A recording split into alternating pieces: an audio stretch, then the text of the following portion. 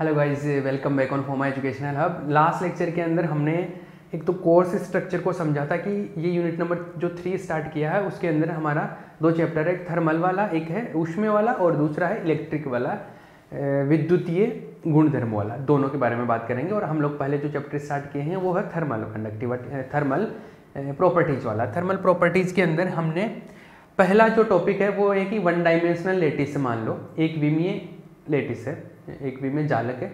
उसमें जो कंपन होता है या किस तरीके से कंपन होगा, उसके बारे में हम लोग बात करने वाले हैं। अब देखना, हमने थोड़ा सा कुछ लिखा था उसके बारे में और हमने बोला था कि नॉर्मली क्या होता है ज़ीरो केल्विन अगर टेम्परेचर है मटेरियल का तो उस टाइम पर क्या होता है, उनके जो पार्टिकल्स होते हैं, वो अपनी जगह पर स्टेशनरी रहते हैं। लेकिन टेम्परेचर थोड़ा भी बढ़ता है तो वो क्या करते हैं मूवमेंट करने लग जाते हैं। मतलब वो हिलने लग जाते हैं मोमेंट होगा उनका। और जब मोमेंट स्टार्ट हो जाता है तो मोमेंट का मतलब है कि वो अपनी माध्य अवस्था के इर्द गिर्द ओसिलेटरी मोशन करेंगे मीन पोजीशन के अराउंड वो क्या करेंगे? ओसिलेशन करेंगे, दोलन गति करेंगे, और उस दोलन गति को हम लोग वाइब्रेशन बोलते हैं। अब ये जो दोलन गति है, ये अलग अलग तरीके से हो सकती है कि जैसे ऐसा हो सकता है कि पार्टिकल ये पार्टिकल इधर जा रहा है, उस टाइम पे ये पार्टिकल भी इधर जा रहा है, ये पार्टिकल फिर वापस इधर आया, ये पार्टिकल भी इधर आ गया। मतलब इधर, ऐसे। एक तरीका तो ये भी हो सकता है। एक ऐसा हो सकता है कि ये पार्टिकल जब इधर आ रहा, तब ये इधर आ रहा। जब ये इधर जा रहा, तब ये इधर जा रहा। मतलब ऐसा। मतलब पास में आ रहे, दूर जा रहे। पास में आ रहे, दूर जा रहे। इसके अंदर देखो। एक ही तरफ़ जा रहे, साथ साथ साथ साथ, है ना? और इसमें ऑपोजिट डायरेक्शन में चलते हैं। तो अलग अलग तरीके से चल सकते हैं। इन अलग अलग तरीकों को बोलते हैं विधाएँ। कि इस तरीके ये भी विधा हो सकती है, ये भी। विधा मतलब तरीका।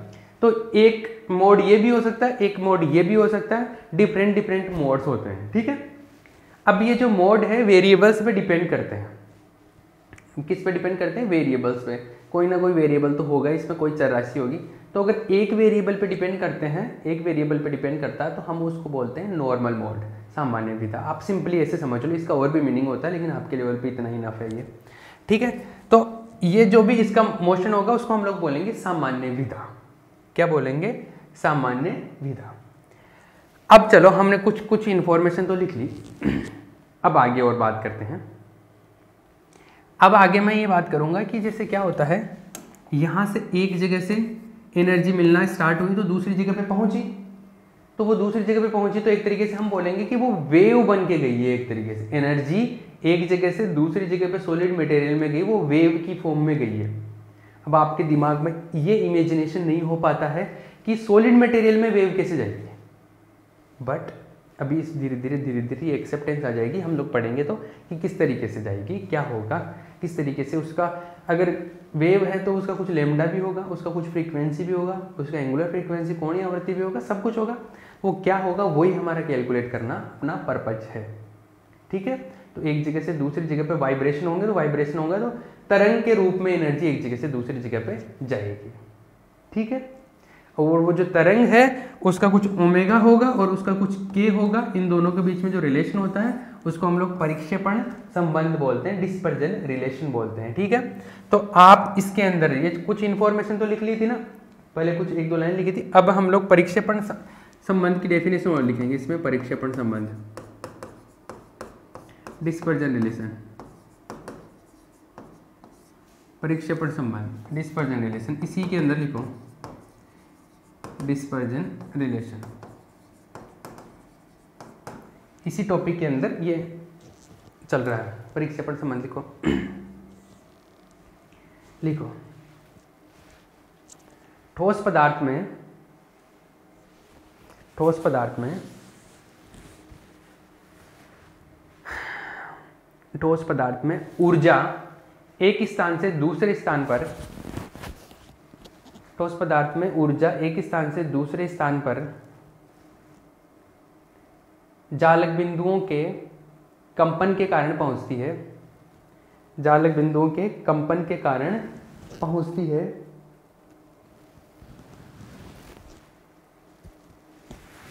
कंपन करने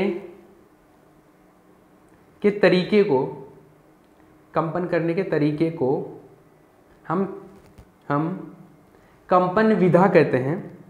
कंपन विधा कहते हैं। कंपन करने के तरीके को हम कंपन विधा कहते हैं।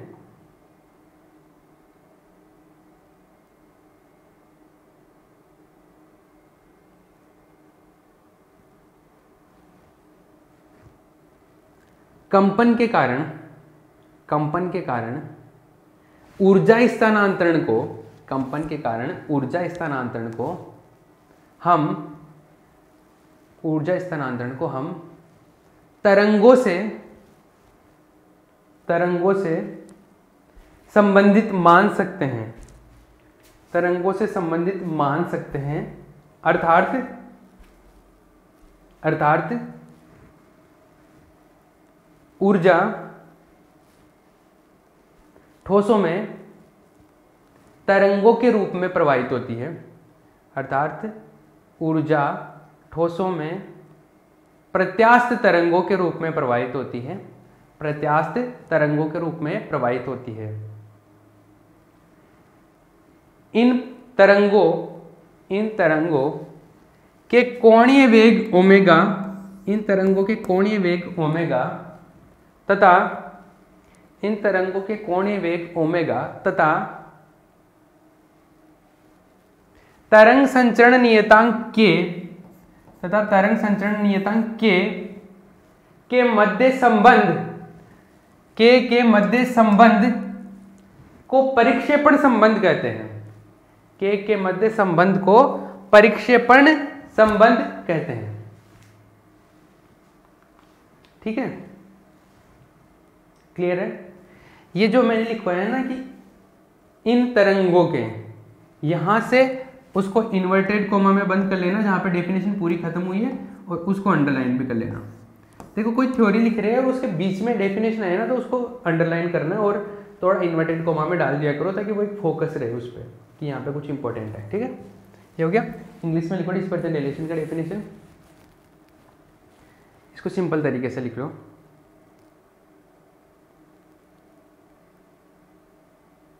The relation between the relation between angular velocity omega the relation between angular velocity omega and and wave propagation and wave propagation constant k the relation between angular velocity omega and wave propagation vector wave propagation constant k is known as dispersion relation is known as dispersion relation is known as dispersion relation ठीक है? तो हमने ये बोला कि solid material में energy एक जगह से दूसरी जगह पे चाहिएगी तो वाइब्रेशंस होंगे ना? वाइब्रेशंस की वजह से जा रही है। और वाइब्रेशन को हम लोग डायरेक्टली वेव से कनेक्टेड मान सकते हैं, क्योंकि वाइब्रेशन होते हैं तभी वेव जनरेट होती है एक तरीके से। तो वेव जा रही है वेव के थ्रू फ्लो हो रहे और वो वेव जो है, जो तरंग है, उसका जो ओमेगा वेलोसिटी है, वो ओमेगा है। तो हम ओमेगा और के के बीच में हम रिलेशन फाइंड आउट करेंगे डिस्पर्जन रिलेशन तो उसके लिए मैथमेटिकल एनालिसिस करेंगे, ठीक है? तो अब हम लोग गणितीय विश्लेषण करेंगे। तो अभी इसके अंदर टॉपिक का नाम डालो, गणित। देखो, हमारा जो है वन डायमेंशनल पूरा वो चल रहा है स्टडी उसके अंदर हम लोगों ने पूरी थ्योरी को हम लोग पॉइंट्स में डिवाइड कर रखा है। अब होगा गणितीय विश्लेषण मैथमेटिकल एनालिसिस गणितीय विश्लेषण, ये हेडिंग लिखो अब। Mathematical analysis mathematical analysis mathematical analysis करेंगे, इसमें हम लोग मैथमेटिक्स डेवलप करेंगे। इसमें हम लोग क्या मानेंगे? इसमें है कि जैसे सॉलिड मटेरियल है, उसके जालक बिंदु है ये, है ना? एक वे में एक्स दिशा में मान लेते हैं एक्स डायरेक्शन में, कि कोई एक्स दिशा में है, और उसमें जो जालक बिंदु है, इनको मैं ऐसे नाम दे देता हूँ, जैसे ये एन वा कोई पॉइंट है। एन वा लेटेस्ट पॉइंट है एन वा एनथ है ना?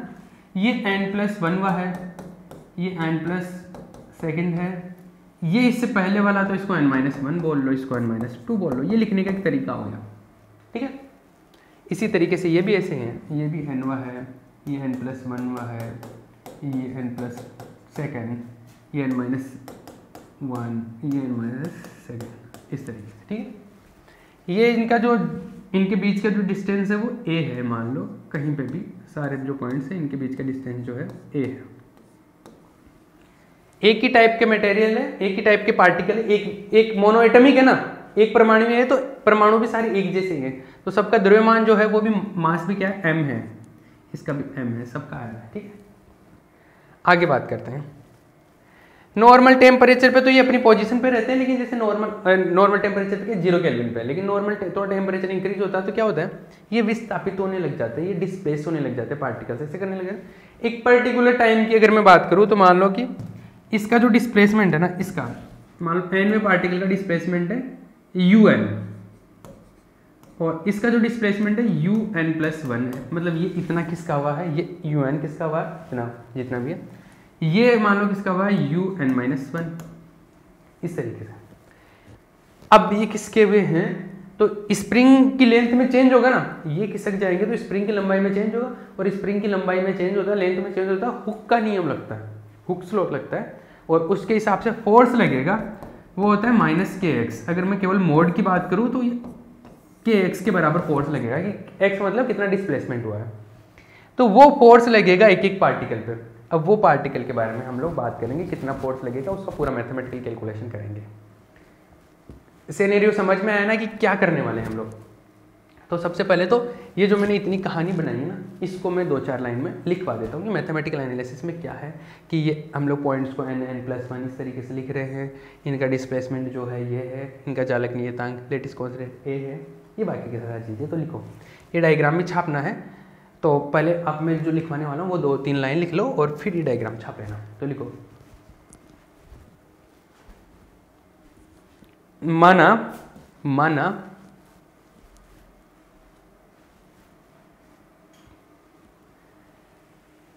माना एक विमीय जालक, माना एक विमीय जालक के जालक बिंदु x दिशा में व्यवस्थित है, माना एक विमीय जालक के जालक बिंदु x दिशा में व्यवस्थित है। X दिशा में व्यवस्थित है। इन जालक बिंदुओं को, इन जालक बिंदुओं को n n plus one n plus two एक सेकेंड।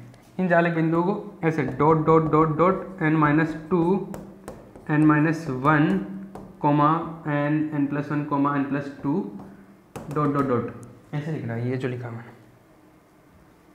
प्रकार से इन जालक बिंदुओं को n minus two n minus one n n plus one n plus two इस प्र, इस प्रकार से इस प्रकार से लिखा जाता है। लिखा जाता है।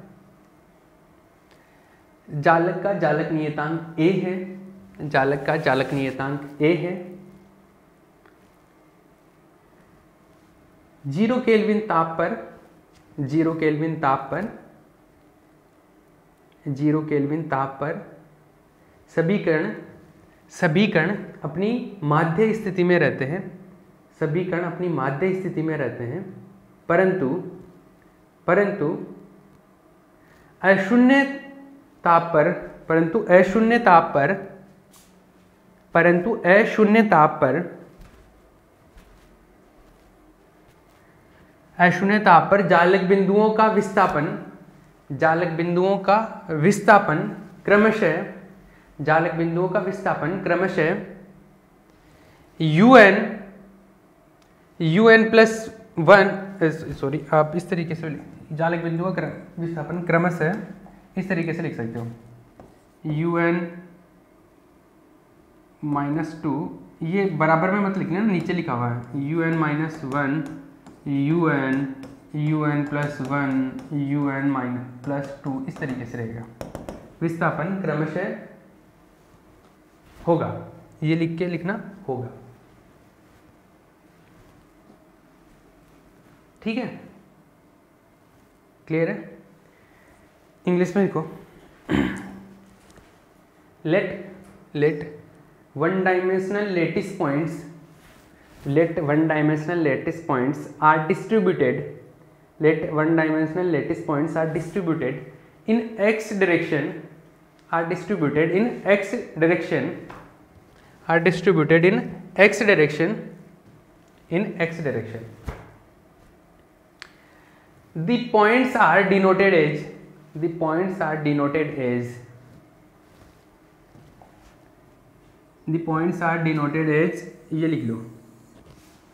Dot dot dot n minus two n minus one n n plus one n plus two dot dot points are denoted by as this one हाँ। At zero kelvin temperature at zero kelvin temp zero kelvin temperature को absolute zero temperature भी बोलते हैं। Absolute zero भी। Absolute zero को हिंदी में बोलते हैं। निरपेक्ष शून्य ताप है ना? At absolute zero temperature the particles remains on the at zero at absolute zero temperature particles remains on their mean positions on their mean positions but at non zero temperature but at non zero temperature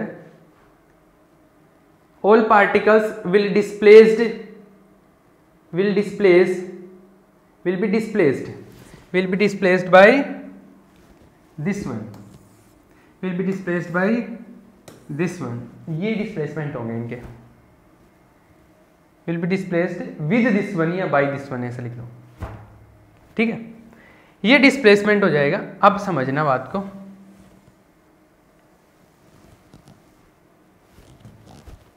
अब ऐसा है कि हम लोगों को ये diagram छाप लेना भैया। हम लोगों को ये समझ में आ गया कि पार्टिकल्स किस तरीके से हैं।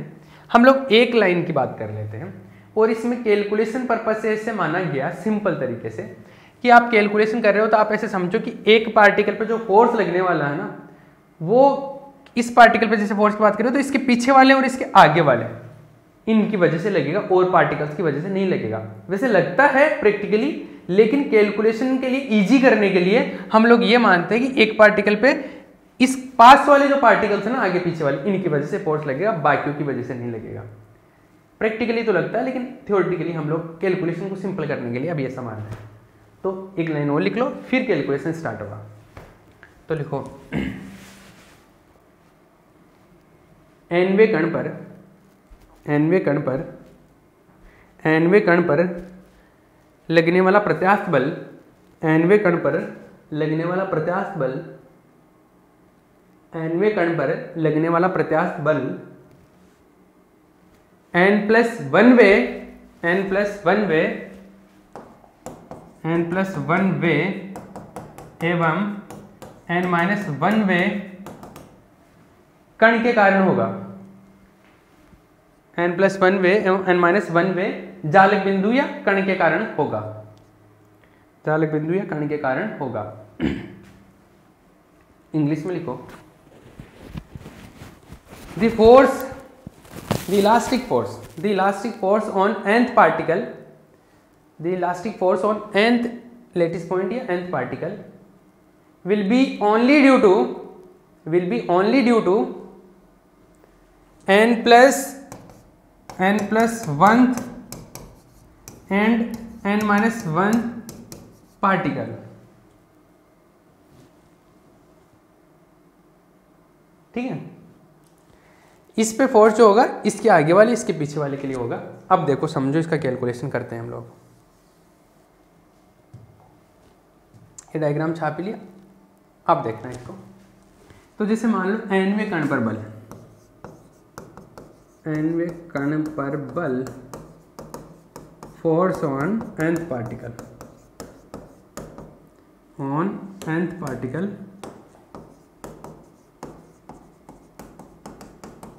nth particle पे जो फोर्स होगा एफ़ एन लिख देता हूँ इसको। ठीक है? इस पे जो फोर्स होगा, दो की वजह से होगा। एक तो एफ़ एन प्लस वन वे पार्टिकल की वजह से, एक एफ़ एन माइनस वन वे पार्टिकल की वजह से। इतना समझ आया? चलो, अब मेरी बात समझना ध्यान से। एक एक स्प्रिंग को थोड़ा थोड़ा